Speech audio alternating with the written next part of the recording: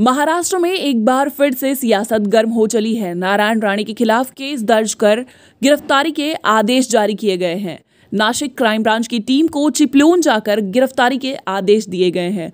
दरअसल, नारायण राणे जन आशीर्वाद यात्रा निकाल रहे हैं, जिससे उन पर कोरोना वायरस के उल्लंघन के आरोप लग रहे हैं। इसी को लेकर अब उन पर गिरफ्तारी के आदेश दे दिए गए हैं। जिस तरह से केंद्रीय मंत्री लगातार जन आशीर्वाद यात्रा निकाल रहे हैं और जिस तरह की भीड़ इस यात्रा में देखने को मिल रही है, इसको लेकर केंद्रीय मंत्री की गिरफ्तारी के आदेश पर सियासत गर्म होना वाजिब है।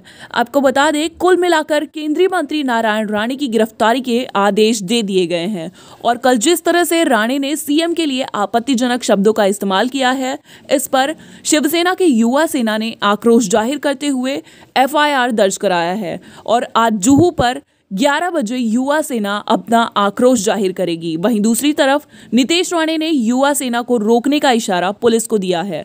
उन्होंने कहा, अन्यथा हमारी ज़िम्मेदारी नहीं होगी। इसके अलावा शेर के इलाके में पैर मत रखिए और हम आपका इंतज़ार करेंगे, जैसे वाक्यों का इस्तेमाल भी नितेश राणे ने किया है। Bureau report anti corruption news, Mumbai.